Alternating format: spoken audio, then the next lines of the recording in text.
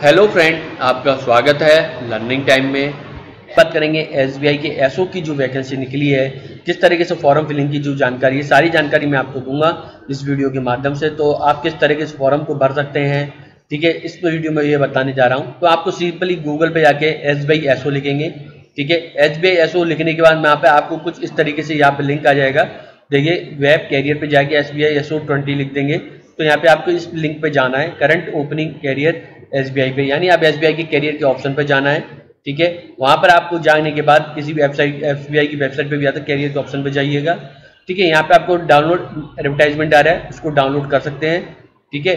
Download करने के बाद यहाँ पे आप दे सकते हैं, ये पूरी नोटिफिकेशन डिटेल है, उसे आप रीड कर सकते हैं, जो वैकेंसी की डिटेल आ रही है, ठीक है? यहाँ पर उसके ऊपर नोटिफिकेशन के ऊपर मैं वीडियो बना चुका हूँ, पहले से ही फ्रेंड तो यहाँ पे जो वैकेंसी है, इसके लिए मैं आपको यहाँ पे क्लिक करें। यहाँ पे आपको दो अप्लाई ऑनलाइन पे आपको क्लिक करना है, ठीक है?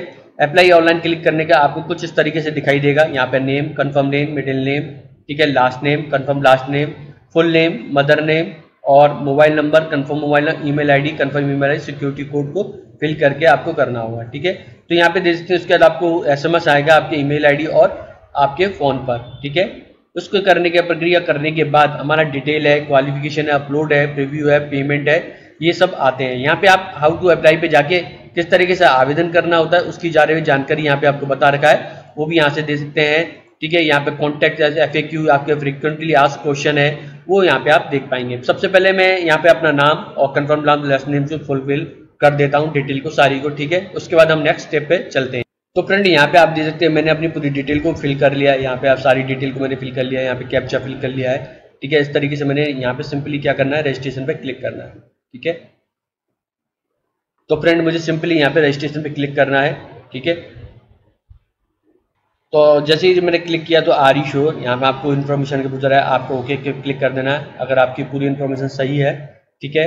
उसके बाद यहाँ पे देखते हैं, आपको उस तरीके से यहाँ पे आपको कंटिन्यू पे क्लिक करना है, ठीक है? यहाँ पे बेसिक इन्फॉर्मेशन आपको जिस पोस्ट के लिए अप्लाई करना चाहते हैं deputy manager manager retail productivity तो उस पर आपको करना मैं डेप्यूटी पे क्लिक कर देता हूँ। तो यहाँ पे आपको जानकारी है, इकट्ठी आपको एक्सपेंस होना चाहिए, ठीक है? ये जानकारी आ रही है, जो कि आप यहाँ से रीड कर सकते हैं, ठीक है?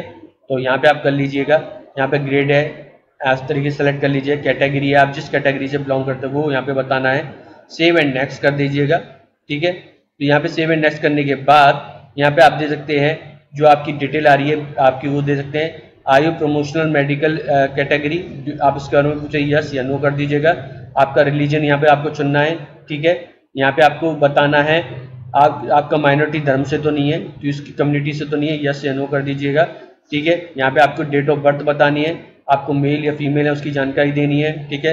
यहाँ पे आप शादीशुदा हैं या नहीं, उसकी जानकारी देनी है, ठीक है? यहाँ पे आपका आ रहा है, यहाँ पे आपको फादर का फ़र्स्ट नेम मिडिल नेम और लास्ट नेम आ रहा है, यहाँ पे आपको अपना एड्रेस देना है, इस तरीके से पूरा एड्रेस में, ठीक है? डिस्ट्रिक्ट बतानी, जिस डिस्ट्रिक्ट से आप, वो बताना है स्टेट बताना है, ठीक है? तो मैं स्टेट सेलेक्ट कर लिया उत्तर प्रदेश यहाँ पे आपको पिन कोड देना है। यहाँ पे अगर सेम एड्रेस है तो करस्पॉन्डिंग यस कर दीजिएगा। स्टेट ऑफ़ जीएसटी इन आपके इन्वॉइसिंग आपका परमानेंट एड्रेस है या नहीं, उसके बारे में जानकारी देनी होगी, ठीक है? तो यहाँ पे आपको इस तरीके से कर देना है, ठीक है फ्रेंड यहाँ पे आपको सेव एंड नेक्स्ट कर देना है, ठीक है? तो फ्रेंड ये अब हमारा नेक्स्ट स्टेप आ जाता है यहाँ पे आप क्वालिफिकेशन की डिटेल आ रही है, आपको बताना है किस से आपने स्ट्रीम से करा है तो उसकी यहाँ पे आपको जानकारी देनी होगी। ठीक है? तो मैं यहाँ पे आपको जो भी स्ट्रीम आ रहा है, उसको आप सेलेक्ट कर लीजिए, जिसने आपको किया है। नेम ऑफ़ यूनिवर्सिटी और कॉलेज का नाम बताना और ईयर ऑफ़ पासिंग बतानी होगी, ठीक है? डेट ऑफ़ पासिंग जिसमें परसेंटेज आप बताना हो क्लास ग्रेड बताना होगा, ठीक है? यहाँ पे आप देख सकते हैं, आपका डिग्री और सब्जेक्ट स्ट्रीम बताना हो name of college university date of passing बतानी होगी। इस तरीके से आपको यहाँ पर पूरी जानकारी देनी होगी। जो ग्रेड थे क्लास थे ग्रेड थे, उस तरीके से यहाँ पे आपको देना होगा एक्सपीरियंस है तो प्रेजेंटिंग वर्किंग के अगर यस या नो यहाँ पे देना होगा एक्सपीरियंस है तो उसकी जानकारी देनी होगी। नेम ऑफ़ एम्प्लॉय डेजिनेशन क्या था, आपका फॉर्म कहाँ से लेके कब तक, ठीक है? यहाँ पे आपको जानकारी देनी कब से लेकर कब तक काम किया उसकी, ठीक है? यहाँ पे डेट मंथ इस तरीके सेलेक्ट करना है, यहाँ पे आप दे सकते हैं, ठीक है? जिस, जब, जिस सन में आपने काम किया था, ठीक है? कब तक काम किया उसकी जानकारी देनी है। नेचर ऑफ़ ड्यूटी आपका क्या काम था? रीजन रिमार्क आपको बताना रीजन फॉर लिविंग एक्सपेंस कितने साल का तो वो बताना है। टोटल एक्सपेंस इन मंथ में यहाँ पे आप कैलकुलेट करके यहाँ पे आपको बताने या फिर आपका यहाँ पे टोटल होके आ जाएगा, ठीक है? अभी मैंने नहीं किया इसलिए। तो यहाँ पे आपको जो लैंग्वेज इंग्लिश आपको हिंदी, अंग्रेज़ी जो भी बोलना आता है उसको आपको लिखना है, तीन है। यहाँ पे आपको उसकी जानकारी कैसे पता है जॉब पोर्टल सोशल मीडिया जिससे भी आपको पता चला उसके बारे में बताना है, ठीक है? इस बारे में जॉब के बारे में। आपको सैलरी बतानी है, इन कितने आपकी सैलरी मिल है, उसके बारे में आपकी जानकारी देनी है, ठीक है? तो यहाँ पे आप दे सकते हैं, उसके बारे में आपको बता इस तरीके से सेव एंड नेक्स्ट कर दीजिएगा, ठीक है? तो ये जानकारी इस तरीके से फिलअप करने के बाद हमारा जो नेक्स्ट आएगा अपलोड आएगा डॉक्यूमेंट सेक्शन आपका फ़ोटो सिग्नेचर जो भी यहाँ पे नेक्स्ट डॉक्यूमेंट मांगे जाते हैं, वो आपको अपलोड करना है। उसके बाद आपको प्रीव्यू देखने को मिल जाएगा, जो आपने पूरा फॉर्म भरा है। उसके बाद आपको सबमिट करना होगा। सबमिट करने से पहले सारी जानकारी एक बार चेक कर लीजिएगा, ठीक है? उसके बाद ही सबमिट करिए फिर हमारा हमारा नेक्स्ट स्टेप आ जाता है पेमेंट करने का। उसके बाद हम इसको पेमेंट करना होगा। तो फ्रेंड यहाँ पे देखिए मैंने डिटेल आपकी इस तरीके से डाल रखी है, ठीक है?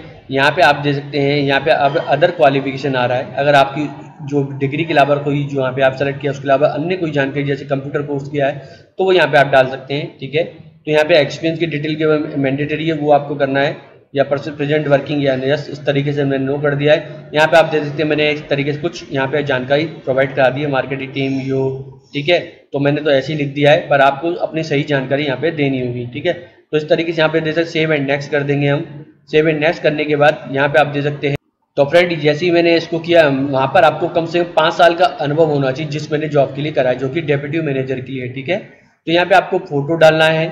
यहाँ पे आप जैसे पासपोर्ट साइज़ फ़ोटो आपका रहेगा अपलोड करना है।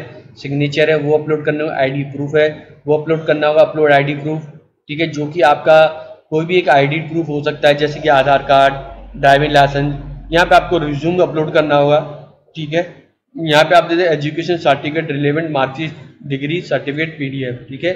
उसको आपको करना होगा, यहाँ पे आपको एजुकेशन अपलोड एजुकेशन आपको marksheet degree certificate PDF upload करनी होगी एक्सपीरियंस सर्टिफिकेट अपलोड करना होगा, अगर आपको जॉब की है, उसका अनुभव है, उसके बारे में देना डिस्चार्ज सर्टिफिकेट यहाँ पे अपलोड करना होगा पीडब्ल्यू डी है तो उसका सर्टिफिकेट इकोनॉमिक सेक्टर है, उसका सर्टिफिकेट या आपके पास अन्य कोई जैसे कंप्यूटर की या आपके नॉलेज है, उसके सर्टिफिकेट की अपलोड कर सकते हैं, यहाँ से नेक्स्ट करेंगे।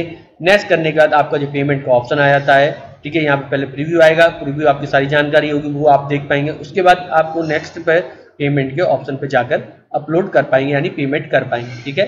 अगर ये वीडियो आपको पसंद आता है तो प्लीज़ हमारे चैनल से जुड़ें। ऐसी लेटेस्ट गवर्नमेंट जॉब के बारे में वीडियो देखने के लिए धन्यवाद।